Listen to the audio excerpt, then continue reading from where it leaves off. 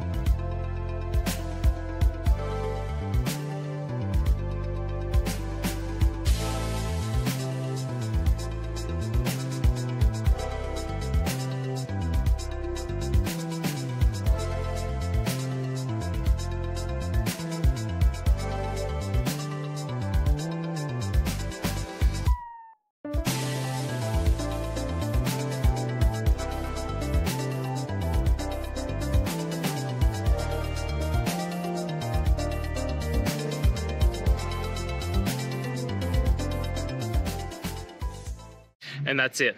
I hope this video has helped you get through to that resolution that you're looking for. If it did, please hit subscribe. And until next time you need technical help, I hope you have a good one. Cheers.